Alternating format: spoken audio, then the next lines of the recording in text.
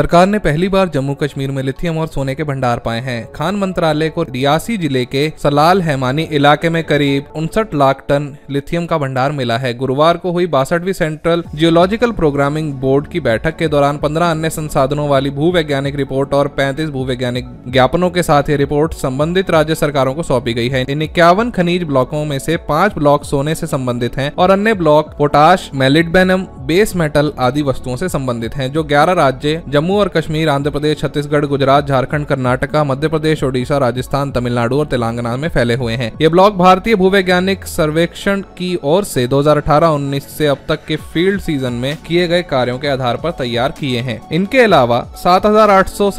million ton के कुल संसाधन वाले कोयले और लिग्नाइट की सत्रह रिपोर्टें भी कोयला मंत्रालय को सौंपी गई है बैठक के दौरान विभिन्न विषयों और हस्तक्षेप क्षेत्रों जिसमें जीएसआई संचालित होता है पर सात प्रकाशन भी जारी किए किए गए हैं बैठक के दौरान आगामी फील्ड सीजन 2023-24 के लिए प्रस्तावित वार्षिक कार्यक्रम भी प्रस्तुत किया गया है और चर्चा की गई है 2023-24 के दौरान जी ने 12 समुद्री खनिज जांच परियोजनाओं सहित 318 खनिज अन्वेषण परियोजनाओं सहित नौ